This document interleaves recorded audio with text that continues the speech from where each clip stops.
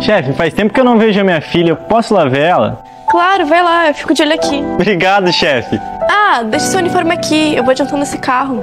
Tá bom, chefe. Boa tarde. Oi? Posso ajudar? Catarina? Eu sabia que você gostava de carro, mas mecânica? Suja de graxa? Nossa, na rede social é foto de carro, de lancha, mas aqui toda imunda e suja. Mas quando eu for gerente desse espelunca, eu faço questão de te mandar por da